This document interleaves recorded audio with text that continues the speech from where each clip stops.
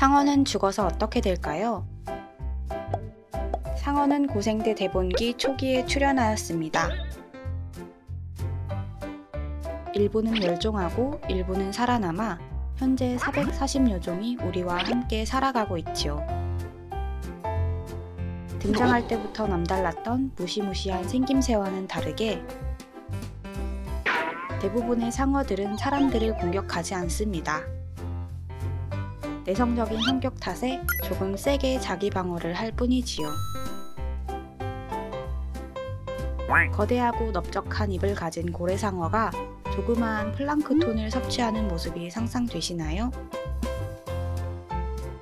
이처럼 뜻밖의 비주얼을 가진 상어에게는 사실 흥미로운 신체의 비밀이 하나 있습니다. 바로 딱딱한 뼈를 가지고 있지 않다는 것이지요. 턱을 제외하고는요. 상어는 연골어류에 속하여 흔히 물렁뼈나 오돌뼈라고 부르는 부드러운 연골로 이루어진 동물입니다. 연골어류의 종류로는 상어, 가오리, 홍어 등이 있는데 연골어류는 불에가 없어 휴식을 취할 때 바다의 바닥에 가라앉게 됩니다. 따라서 죽음을 맞이한 상어는 바닥에 가라앉은 채 턱만 남기고 사라지게 되는 것이지요. 턱을 남기고 죽음을 맞이한 상어의 실제 모습은 어떨까요?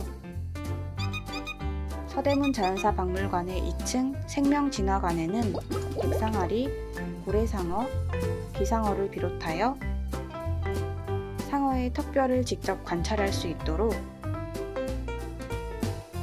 한국의 다양한 상어들이 전시되어 있습니다.